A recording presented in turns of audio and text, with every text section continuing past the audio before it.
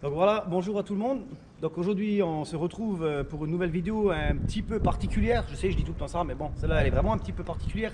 Donc avec mon pote euh, JP. Donc il nous a ramené euh, son véhicule.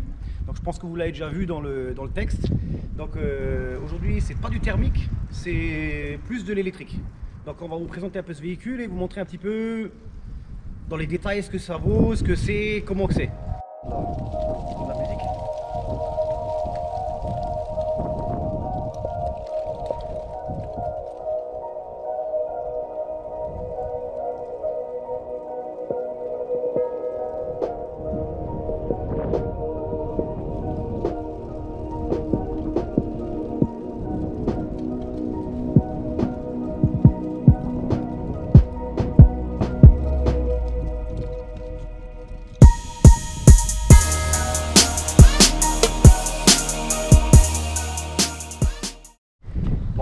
Expliquer un petit peu comment que, comment que ça se passe avec ce genre de véhicule, parce que c'est quand même un peu spécifique par rapport à une voiture euh, standard thermique de ce que nous on a connu, qui est un peu plus euh, ancienne génération. Donc là, on peut vous montrer par exemple, euh, on va montrer par exemple au niveau des jantes. Donc on voit qu'il y a des, des jantes en 18 pouces avec des caches en plastique. Donc en fait, les, les en plastique servent à l'aérodynamique, si je me trompe pas, si Ouais. je ne trompe pas de conneries. Oui, ça c'est ça, et ça fait économiser. Alors Tesla, ils disent que c'est entre 5 et 10 de- d'énergie, mais euh, beaucoup de gens ont fait des tests sur Internet, c'est ils tablent plutôt sur euh, 3 à 5% d'économie euh, d'énergie. euh, Ouais, au niveau, je pense c'est au niveau aérodynamique, quand le vent il passe, s'il rentre dans la jante, ça freine un peu la voiture. Donc du coup, il faut euh, accélérer un peu plus. Donc je pense que la consommation monte. Et le fait d'avoir des jantes euh, plates, ils le font aussi sur les véhicules qui font les, les, les- les, euh, comment on appelle ça, les vitesses max sur le Nardo en Italie. J'ai vu toutes les voitures qui roulent après 300, 350 euh, jusqu'à 400, ils mettent des caches sur les roues justement pour éviter que le vent il rentre dedans et que ça freine la voiture et que ça la déséquilibre. Donc je pense que c'est un peu le même but, sauf que tout dépend à quelle vitesse tu roules avec. Je pense que c'est pas en roulant à 50 que ça va changer grand chose. Non, je pense pas non plus. Je pense que c'est plus surtout sur sur les longs, longs trajets, sur autoroute à 130, etc. Donc là, on peut vous montrer maintenant, par exemple, euh, extérieurement. Bon, vous voyez, il y a les clenches de porte qui sont intégrées dedans. Donc, euh, je pense que tu dois appuyer. euh, Ben, en fait, tu mets le pouce, tu appuies là-dessus, et ensuite tu chopes le reste et la porte s'ouvre. ouais. Donc là, on voit aussi qu'il y a des caméras extérieures. Donc là, je sais pas si vous voyez sur la vidéo, enfin sur la, sur la caméra, si on voit bien. Il y a des caméras extérieures. Donc, il y en a une ici. Il y en a une ici. Donc, évidemment, de l'autre côté aussi. Il y en a plusieurs, euh, si je me trompe pas, devant au niveau du pare-brise, donc là-dedans. Ouais. Et il y en a une euh, derrière au niveau du, euh, du coffre arrière, donc ici, là en dessous. Donc ce genre de caméra, explique-nous un petit peu à quoi ça sert ce genre de caméra. Alors les caméras, alors elles servent. bah, la caméra arrière, comme toutes les voitures, quand on fait une marche arrière, elle s'allume, bien sûr. recul quoi. Sinon, toutes les autres caméras servent pour l'autopilote, c'est-à-dire que la voiture peut rouler en théorie toute seule, ce qui en France est pour le moment interdit. Mais euh, il y a, sur l'autoroute, il y a, on peut rester sur la ligne, elle peut dépasser toute seule, ça c'est autorisé. Et euh, sur les caméras qui sont sur les ailes, elles s'allument quand on met le clignotant à droite ou à gauche, par exemple. Ça permet de voir l'angle mort. Ah bah ça on pourrait, on pourrait vous montrer, viens, on montre voir comment Ouais, ça, ça, se passe. Donc, euh, voilà, donc dedans il y a l'écran, donc apparemment on va, on va vous montrer l'écran plus tard. Donc là on voit l'écran. Et si je, mets, si je mets un clignotant, Donc voilà, si on met le clignotant, donc là on voit bien qu'ici, il y a le, côté de la, voiture. Donc si maintenant il y a un angle mort, il y a quelqu'un dans l'angle mort, bah, automatiquement, à la place de tourner, enfin, on va pas dire faut pas tourner la tête, mais on n'a plus besoin vraiment de tourner la tête pour, euh, pour voir quoi. Alors que sur une voiture standard, si on tourne pas la tête, il y a quelqu'un dans l'angle mort, ben, ben, c'est mort. Ça s'appelle pas angle mort pour rien. Et, elles servent aussi à la surveillance de la voiture, c'est-à-dire quand on est stationné quelque part, on peut activer le mode euh, sentinelle, ça s'appelle. Et en fait, la voiture, dès que quelqu'un s'approche, il y a quatre caméras qui vont filmer autour de la voiture, en fait. Et donc on peut voir si quelqu'un peut abîmer la voiture, etc., etc. Ouais, ça c'est pas mal aussi d'un côté. Après, bon, après c'est sûr qu'avec tout ce genre d'équipement, après t'es plus non plus tranquille parce que tout le monde peut voir ce que tu fais partout. Ah oui, bah ça oui. Ça c'est aussi. euh, Et il y a une dashcam, bien sûr. La les caméras servent de dashcam aussi. Ouais, C'est-à-dire voilà. s'il y a un accident ou quoi que ce soit, Ouais. il suffit d'appuyer sur un bouton sur l'écran et puis ça enregistre les dix dernières minutes de ce qui s'est passé.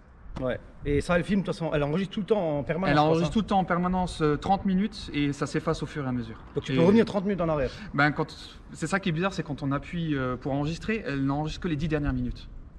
Donc je sais pas pourquoi ils font une boucle Je pense de 30 que je pense qu'eux ils peuvent le voir, mais, Mais eux, ils peuvent ouais. peut-être le voir. euh, Je pense que même eux ils peuvent revenir peut-être. Parce qu'il faut pas oublier que la voiture est connectée. Il y a une puce euh, 4G dedans, donc elle est tout le temps connectée en fait la voiture. Ouais, donc même si tu fais, euh, il y a quelqu'un qui fait un excès de vitesse ou un truc ou quelque chose, tu peux tout voir. Ah euh, bah tu peux tout voir, ouais. Ouais. Ça c'est les voitures modernes, c'est l'avantage et l'inconvénient on va dire. L'avantage, il y a des avantages et il y a des inconvénients. C'est sûr que pour le mec qui roule vite tout le temps, s'ils ont un doute sur lui, je pense qu'il y a vraiment quelque chose de grave ou quelque chose, ils peuvent venir voir si tu as roulé. Bah, sur, des- les, sur les toutes premières modèles S, euh, le, euh, ceux-là qui roulaient la voiture ne pouvaient pas voir, c'était que Tesla qui pouvait voir les vidéos. Ah d'accord, Et après, modèles, euh, maintenant sur les modèles récents, tout le monde peut voir avec l'écran, etc. Ouais, toutes les modèles maintenant. Maintenant, tous les le- modèles, oui, le oui. 3, oui, donc Oui, là, oui, je sais pas si je l'ai dit, c'est modèle 3, donc euh, dual motor. Donc, euh, ouais, parce qu'après, il y a le modèle S, il y a le modèle. modèle S, il y a un modèle X et euh, D, il y a le modèle Y maintenant. C'est-à-dire c'est le modèle 3 en SUV. D'accord, ouais, celui-là, ouais, c'est un peu plus haut. Quoi. Ouais. Ouais, donc là pour euh, info, donc on a monté les pneus été dessus, sur les jantes été. Donc euh, au niveau de l'équilibrage, il faut bien mettre des plombs. Donc les plombs, j'ai essayé de les chasser avec un, espèce de, chasse-plomb quoi. Et lorsque je tape dessus, je vois que le plomb il se coupe en deux. Et euh, donc je l'enlève, je le prends et je vois que c'est une matière toute euh, molle, comme du PVC, plastique comme ça, une matière composite. Et en fait, c'est pas du plomb, c'est pas, enfin du plomb, ils le font plus depuis longtemps. C'est pas du, c'est de la ferraille maintenant. C'est un bloc de ferraille quoi, de 5 grammes, 10 grammes. Mais c'est même plus de la ferraille. Je pense que c'est pour l'écologie parce que Tesla ils veulent justement zéro déchet, euh, émissions faibles et tout. Donc eux ils essayent justement de réduire tout ça, même au niveau des plombs pour vous dire comme quoi que euh, ils vont chercher quand même loin. Et euh, qu'est-ce que tu m'as encore dit sur ça J'ai dit, ben, le, le- le jour où je suis allé voir la voiture en concession, en fait, j'ai un ami à moi qui était avec moi, et puis il a demandé une euh, carte de visite pour euh, pouvoir rappeler ou quoi que ce soit. Et les vendeurs, ils ont dit, ben, on n'en a pas, parce que justement, ça fait des déchets. Donc, euh, pas de carte de visite, rien du tout. Ouais, donc euh, Tesla c'est vraiment euh, zéro déchet, c'est-à-dire pas de pollution, pas de thermique, pas de déchets, rien du tout. Ouais, voilà, c'est ça. Après les pneus, ça tu pourras rien changer, mais bon, après s'ils sont recyclés comme il faut, que beaucoup de monde ne fait pas, eh ben normalement il n'y a pas de souci. Bon, on va essayer de voir un peu tout ce qui est partie technique, on va dire mécanique entre parenthèses, pour euh, montrer un petit peu que ce qu'on voit dans ce genre de véhicule quand on ouvre le capot. Donc je vais voir pour ouvrir le capot. Donc euh, ouais, là il faut peut-être que. Vas-y, euh, normalement. Je pense qu'il faut que tu t'approches un petit peu. Voilà, Voilà. tu peux y aller. Donc voilà. Donc pour ouvrir le capot, ben. JP il est où le. Eh ben, en fait, il n'y en a pas. Ah ben voilà, bah, Il y en a super. pas. En fait, euh, il y a deux façons d'ouvrir le capot. C'est soit il faut aller sur l'écran et appuyer sur le bouton pour ouvrir le capot, soit il faut utiliser le téléphone avec Ah, une application. Mais si maintenant le téléphone il est vide, tu fais comment?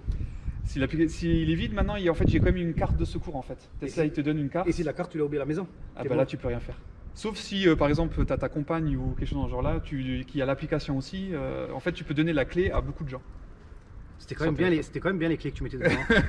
même quand c'était vide, tu pouvais ouvrir. Maintenant, là, si t'as plus de téléphone, plus de batterie, et ben c'est mort. Bon, viens, on ouvre, alors, le, ouvre le capot. Donc le capot uniquement avec le téléphone. Tu peux Alors, uniquement avec le téléphone ou sur l'écran, il y a aussi un bouton. pour- Allez, on va ouvrir le capot, on va montrer un peu on. Ah, tiens, ouvre-le toi. sinon ce serait- Ah, ouais, ouais. Vas-y, Ah, vas-y. bah, y a pas de Eh, a rien. voilà. Voilà, bah là il y a la partie mécanique. Ouais, même, si on, même si on lève le tapis, il hein, n'y a rien. Ah si, ah, y a quand même le, Le lave-glace. le lave-glace, ouais, ça y a, c'est tout. Putain, ça m'attriste quand même. hein. Il manque quand même quelque chose. hein. C'est comme ça, c'est électrique. En fait, les moteurs, les moteurs sont sur les essieux. Il y en a deux. Donc, il y en a un sur l'essieu avant et un sur l'essieu arrière. Oui, parce que c'est une dual moteur. C'est une Donc, dual moteur. moteur, ça veut dire deux moteurs. Deux moteurs, ouais. Il y a des modèles avec un moteur, Oui. il y a des modèles avec deux moteurs, et il y a des modèles encore au-dessus de celle-là. avec- Alors maintenant, il y a les modèles S Plaid, ils ont trois moteurs. Un moteur à l'avant et deux moteurs à l'arrière. Donc un par roue derrière. C'est ça, exactement. Et celle-là, elle existe avec deux moteurs. C'est tout. Et Maximum. un plus gros encore, je crois. Non, il y en a un qui est Et il y en a un, en fait, la version performance, elle a un moteur un tout petit peu plus puissant à l'arrière. Ouais. Oui, là, donc, tu en as déjà deux. Après, les modèles. Euh, on va parler chevaux. Modèle avec un moteur, ça développe combien de chevaux Équivalent à des chevaux. Je crois que c'est dans les 350 à peu près. D'accord. Et euh, le modèle avec deux, comme celle-là, c'est. Alors le, le mien, c'est un modèle long range du coup. Euh, elle a environ 420 chevaux d'après ce que j'ai pu voir sur internet. Parce que Tesla ne communique pas en fait. Ouais, Sur, ils di- ils euh, disent pas le- nombre de chevaux, ils te disent juste, elle fait le 0 à 100 en 4 secondes 2, je crois. Oui, bah après, c'est vrai que si tu réfléchis, ce qui est important, enfin, aujourd'hui pour les gens, c'est le, le- le tableau des chiffres de 0 à 100, de 100 à 200. Voilà, c'est ce qui Après, euh, on, euh, on va pas dire on s'en fout, mais les voitures modernes, c'est plus vraiment des chevaux euh, comme nous on a connu dans nos voitures, c'est plus un chiffre aujourd'hui. C'est pour ça que je pense qu'ils donnent pas les chiffres à mon avis. Il y a moyen, ouais. C'est Ouais. comme sur la taille de la batterie, en fait, ils donnent pas la taille de la batterie en règle générale. Mais les gens, à force de recharger, à force de, de faire Oui, des savent études, combien qu'elle fait, ils savent combien il y a exactement dedans. voilà. Ouais. Ouais, bon, s'ils donnent tout après, il y a tout le monde qui peut copier. Enfin, ils peuvent pas copier parce qu'ils n'arriveront jamais à copier, mais ils Bah, peuvent un peu se baser C'est même pas ça, c'est qu'en plus Tesla, ils, ils ont, ils ont dit leur, leur batterie et tout, tout est ouvert au public en fait. Il faut juste, si les constructeurs font la même chose qu'eux, il faut juste qu'ils disent que ça vient de chez Tesla. Ah, ils peuvent, tout est ouvert. hein. D'accord, ils peuvent même acheter des batteries. Ils peuvent tout euh, acheter, les batteries, les moteurs, et tout est ouvert. euh. Mais bon, s'ils mettent une batterie Tesla dans une Zoé, elle se met en deux. Donc, euh, on va parler un petit peu de tout ce qui est euh, batterie. Donc, euh, pour savoir un peu tout ce qui est au niveau du kilométrage, de, temps de charge, de tout ce qui est tarif. Donc, explique-nous un petit peu tout ça, comment ça, comment ça se passe. Alors du coup, j'ai une version dual moteur, donc avec la grosse batterie à l'époque, parce que c'est une version 2019 et euh, 2019, ils avaient une batterie de 75 kW dedans, kilowattheure. Et du coup, je sais plus ce que je voulais dire. Tu feras un montage. Alors du coup, j'ai une version 2019 qui a une batterie de 75 kW, 75 kWh. Et euh, je fais en été, parce qu'il faut pas oublier qu'en hiver, euh, la voiture consomme un peu plus. Je fais dans les 500 km sans autoroute. Sans autoroute, c'est dans les 500 km. Autour, tu fais moins. Tu fais moins, tu fais entre 350 et 400 km sur autoroute. D'accord. Ouais, c'est le con- en fait, c'est le contraire d'une thermique. Ouais, c'est tout Une à fait thermique, quand tu ouais. roules sur les petites routes, tu consommes plus. Quand tu es sur l'autoroute, tu consommes moins. Et ça, parce que tu es sur l'autoroute, le moteur il doit pousser plus fort, donc il consommera plus. Et sur les petites routes, il consommera moins. Exactement. Et parce qu'il rechargera quand tu freines aussi, je crois, non? Et ouais, quand, bah en fait, c'est ouais, tu, quand tu lâches l'accélérateur, la voiture freine relativement fort. Et en fait, ça recharge la batterie. Ça recharge la batterie. et- Donc du coup, il n'y a pas de frein non plus. Il y a les freins font, enfin les plaquettes de freins font dans les 250 000 km. Ouais, parce qu'il n'y a jamais, y a jamais besoin de freiner. Ouais, tu les changes pas. Et du coup, à la maison, non, je charge simplement qu'une prise normale de 220. D'accord. Ça prend beaucoup plus de temps, c'est sûr. C'est-à-dire pour faire une, l'ampé- l'ampérage, il est pas bon. bah, pas euh, il y a, c'est combien c'est- Je sais plus combien d'ampères. C'est 13 ampères. Ouais. C'est 13 ampères, donc tu recharges dans les 3,5 kW, je crois. Et euh, pour faire de 20 à 90%, il te faut 15 heures à peu près, 15-16 heures pour recharger. Mais en sachant que quand tu rentres à la maison, tu branches et puis c'est terminé. Quand ça charge toute la nuit. Et, Ouais, le matin tu pars, c'est plein. Voilà, le matin, tu pour aller au pars, boulot, tu arrives avec 500 km qui arrivent. euh, tu fais toute la semaine, hein, Ouais, voilà, même plus. Et au niveau euh, tarif, est-ce que tu as une idée de tout ce que ça coûte pour, euh, Alors, pour la charge euh, quoi, à la maison, un plein fait dans les 7-8 euros. à 7, peu 8 près. alors, donc avec 7-8 euros, si tu roules normal, on va dire une, cons- une, une- une petite route, tu vas faire quoi? Tu vas faire pour 7-8 euros, tu vas faire 500 km. 500 km, voilà. Ouais, donc là c'est quand même déjà un peu, un peu avantageux, on va dire. C'est hein. très avantageux. Maintenant, il faut juste espérer qu'ils ne montent pas le prix d'électricité comme des fous et qu'on se retrouve après avec des, des charges à, à 70 balles, tu vois. Non, je pense pas. Et quand on part en vacances, il y a beaucoup de superchargeurs. Les superchargeurs, par contre, euh, une charge entre 20 et 80%, ça dure 20 minutes. Donc en 20 minutes, ouais, tu bois un café, tu, Voilà, en 20 minutes. tu euh, manges un petit truc et puis en, en 20 minutes, tu es presque plein. T'es bah, t'es plein. Les trois quarts du temps, quand moi je m'arrêtais, quand je pars en vacances, euh, tu n'as même pas le temps d'aller boire un café que la voiture elle a déjà fini de charger. en fait. C'est Ouais, très rare que. Le seul, incon- le seul inconvénient qu'il y a, c'est que si maintenant tout le monde descend en vacances au même moment dans le sud, comment ils vont faire pour pouvoir charger tous en même temps? Parce qu'il n'y a pas euh, autant de monde. Tu t'arrêtes 20 minutes. Tu t'arrêtes 20 minutes. Et euh, moi, quand je descends, euh, enfin, je suis allé souvent en Normandie avec. Les trois quarts du temps, il y a plus de monde à la station essence que les gens qui veulent charger. Oui, pour l'instant encore, mais quand il y en aura, parce que ça, les voitures comme ça, on en voit quand même de plus en plus sur les routes. Ouais. Il y a un bout d'un moment où il y aura, on va pas dire 50-50, ça va mettre du temps encore. Mais il y, a- il y a- il y en a plein. Les superchargeurs, il y en a plein. Il y en a plein. Et maintenant, tous- tous les superchargeurs qui sont en train de fabriquer, ils font au minimum 25 stèles. Donc il y a 25 places de charge.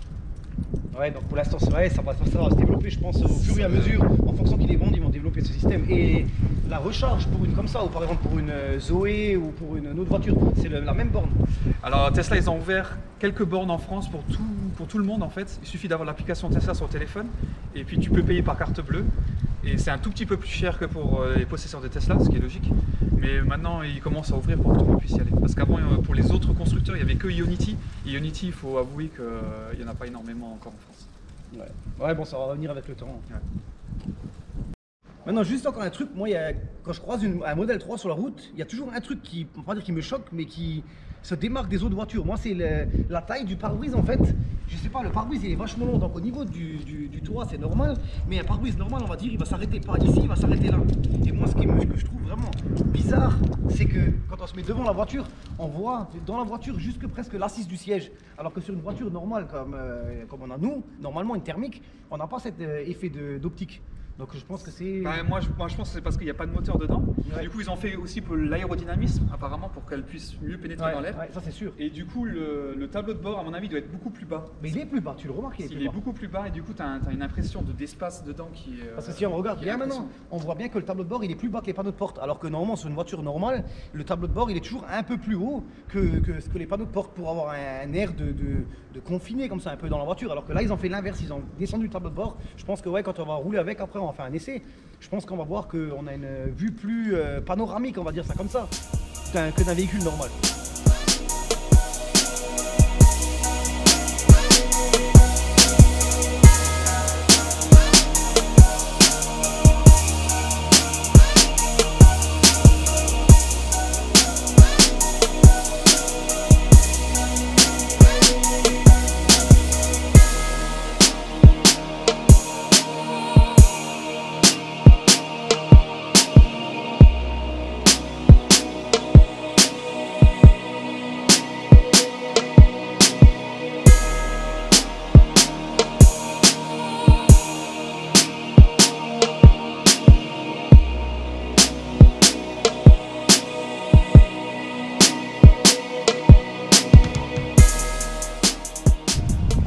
Peu tout ce qui est intérieur, euh, câblage pour le- la recharge, tout ça. Ouais, je sais, j'ai un accent, je sais, on me le dit tout le temps, mais c'est pas grave. J'ai dit câblage, non mais c'est câblage. Bon, on va reprendre, c'est pas grave. Et euh, donc on va parler un peu de tout ça. Et euh, donc il va nous montrer un peu où c'est qu'on range le câble, un peu tout ce qui est intérieur, la finition de l'intérieur et tout ça. Donc euh, montre-nous un petit peu au niveau du, du coffre. Donc on voit le Bah, coffre, il est vraiment très grand. Donc le Déjà, coffre, le coffre il est très grand et en plus de c'est ça, et en plus de ça, on a un double fond. Ouais, donc là il y a un Il y a double, un double fond. fond et puis du coup, on voit le câble. Donc du coup, là, on voit très bien le câble euh, pour le 220. Ah ouais, donc ouais, là c'est le 220 qui passe directement avec qui la, passe là. avec la broche pour mettre. Et puis euh, la broche, elle est là. Ça c'est celui-là que tu mets dans la voiture en fait. Euh, ça, donc ça c'est celui qu'on met dans la voiture avec le câble 220 Et et, ça, en fait ça c'est le câble bleu il est donné avec c'est un T2 ça s'appelle un type 2 c'est pour euh, sur cer- certaines bornes publiques en fait ils n'ont pas de câble directement branché donc tu prends ton câble à toi et tu le branches dans la borne publique en fait euh, Ah oui, quoi, parce genre, que ouais, euh, genre tu vas au Lidl ou, ou Leclerc Et ça, tout ça il te Ils donne en ont avec en fait. et tout ça il te donne avec ouais Et le Tout ça, jaune, ah, le jaune ça c'est pour les non ça c'est ouais. Ouais, ça c'est une rallonge Ouais, l'autre après juste une rallonge. Ouais, Ouais. C'est vrai que le coffre il est quand même relativement Bah, il est profond et. Ouais, je pense que deux personnes y rentrent là-dedans. je pense aussi. Euh, on va parler. Après, pour la, pour- ah oui, pour la recharge. Donc tu le branches à quel endroit pour la recharge et euh, pour le recharge en fait tout est caché dans le phare Ouais, donc dans le feu arrière, donc euh, la prise elle est pour l'ouvrir, tu fais comment là Bah, pour l'ouvrir, c'est soit on appuie dessus, comme je viens de le faire à l'instant. Il et faut que tu la, sonne. faut que t'aies le- la Il faut que clé- tu sois à côté de la Voilà. voiture avec, euh, avec le téléphone. Soit si tu vas dans un superchargeur ou si tu prends ton propre câble, en fait, dessus il y a un bouton. Quand tu appuies sur le bouton, la prise s'ouvre automatiquement. Donc il doit y avoir une pile là-dedans. Là. Je sais pas. Bah, Je pense. Hein. je sais pas. Mais en tout cas, quand tu appuies dessus, ça s'ouvre. Mais que sur les Tu peux le câbles. fermer, donc pareil, tu appuies dessus quoi. Ouais, normalement il se ferme tout seul au bout de quelques minutes, sinon il suffit de mettre un petit coup normalement et puis euh, ça se ferme tout seul. D'accord, ok. Bon, on va voir un petit peu tout ce qui est intérieur. On va montrer un peu à l'intérieur. Donc là, on voit à l'intérieur que c'est un intérieur, on va dire, en finition en Alcantara cuir. Bah, cuir, oui et non. Parce qu'en fait, c'est pas du vrai cuir. C'est euh, Tesla, ils sont sur l'écologie, du coup, ils ont un cuir vegan. Et je crois que c'est du cuir d'ananas, si je me trompe pas. Donc c'est c'est même pas de l'Alcantara non plus en fait ça. Ça, pour l'Alcantara, je sais pas. Parce que là, on voit la finition, c'est. euh, Mais bon, s'ils ont un fait. SP Alcantara, mais. Ouais, je pense que c'est un aspect Alcantara, mais c'est vraiment à 100% quand même Alcantara. Mais je pense que c'est du, euh, c'est du synthétique, ça doit pas être du. euh, Non, ça doit être du pas de la synthétique, peau. ouais, je pense aussi, ouais. Mais le cuir, c'est vrai que quand on le regarde, on dirait vraiment que c'est un. Même au toucher et tout, quand on, le, quand on met la main dessus, quand on le touche, je veux dire, c'est vraiment euh, comme un vrai cuir, quoi. C'est. On remarque pas que c'est pas du, du cuir euh, animal, quoi. Ouais, donc Tesla, ils font vraiment le truc euh, Ah bah là, écologique jusqu'au bout. Jusqu'au bout, ouais. Ouais. Oui, l'intérieur après, donc c'est très épuré devant. On voit que devant, il y a vraiment rien. Il n'y a pas de, de- de- d'interrupteur à part les vitres et les rétros. Je veux dire, les clignotants, les mais il n'y a pas de, de, la planche de bord de l'interrupteur pour, le, pour la climatisation, pour le chauffage. euh, voilà, on va montrer un petit peu. Donc euh, c'est vrai que quand on regarde dedans, il y a vraiment euh, rien.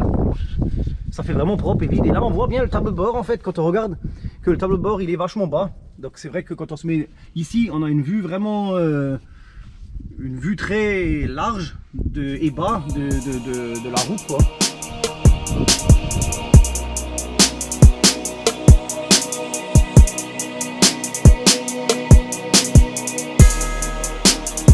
Là c'est parti pour euh, un petit essai, euh, on va dire euh, routier, pour vous montrer un petit peu le ressenti dans, dans ce genre de, de voiture. Par contre c'est vrai que c'est très difficile le ressenti sur une vidéo, déjà en temps normal sur une voiture thermique, donc là je pense qu'en électrique, Ça va être encore plus compliqué. ouais ça va être très compliqué parce qu'il n'y a pas de bruit, il n'y a rien, donc il n'y a que l'accélération, et l'accélération c'est du physique, donc sur la vidéo il n'y a pas de physique, donc ce qu'on va faire, j'ai ramené cette voiture là, donc comme vous pouvez voir, donc la M5 E39, donc elle fait 400 chevaux, elle est passée au banc, donc elle fait ses 400 chevaux. Elle a 520 Nm contre la Tesla qui fait 420 chevaux et 1000 Nm. Donc euh, on ira sur l'autoroute en Allemagne et on fera genre euh, un endroit quand on monte sur l'autoroute ou quoi, on fera un 50, 150 ou 170 pour vous montrer juste approximativement le, le comparatif entre les deux voitures pour que vous aurez, aurez une idée de ce que c'est comparer le, la M5 comparée à la Tesla. Juste pour la- l'accélération, pour vous montrer un peu ce que c'est, parce que c'est vrai que le ressenti c'est C'est ouais. c'est- c'est- c'est c'est physique et sur la vidéo il n'y a pas de physique. Donc on va faire ça, donc euh, on va y aller, donc c'est parti.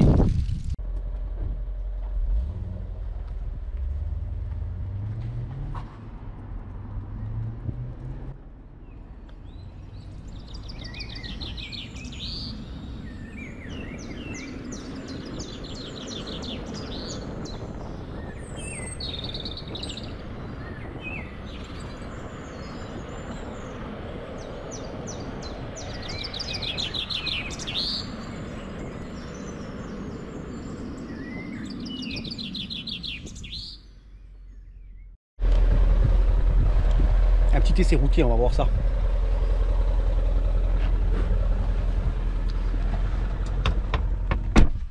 Donc, nous voilà à bord de cette euh, voiture électrique.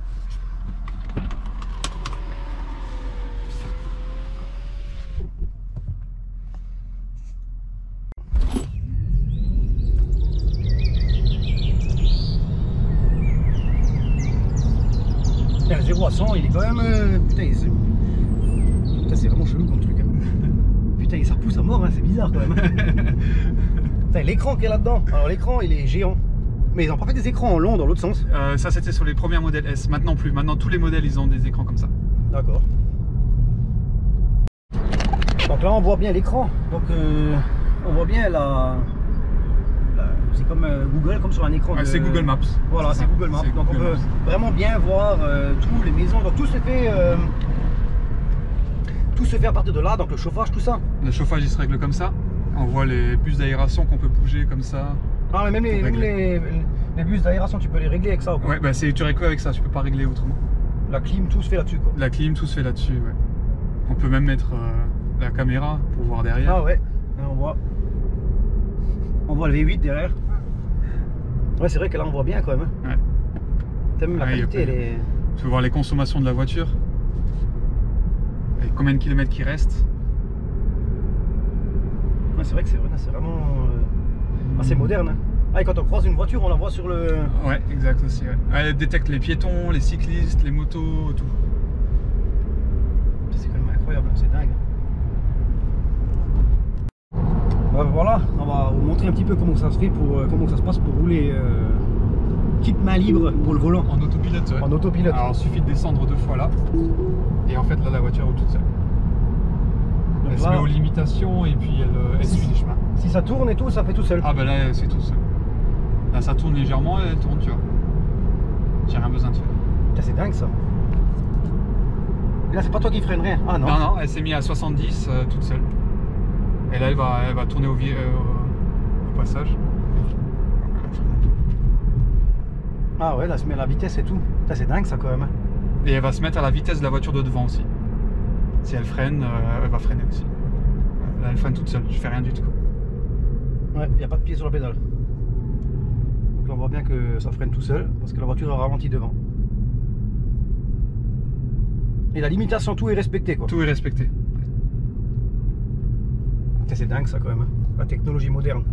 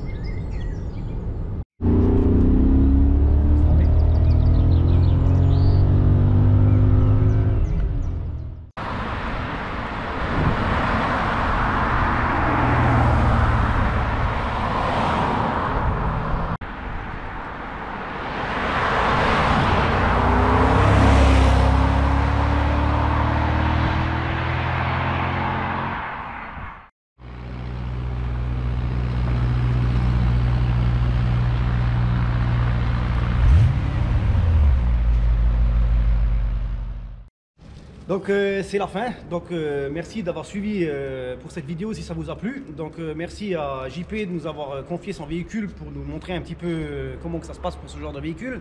On va se quitter sur ce magnifique soleil lorrain qui est très rare chez nous. hein. Donc c'est vrai qu'il faut en profiter quand il y a du soleil. En ce moment ça va, ça le fait. Donc n'oubliez pas de vous abonner, n'oubliez pas de liker. Et si vous voulez plus, vous pouvez le mettre dans les commentaires. Donc merci à tout le monde. Ciao Salut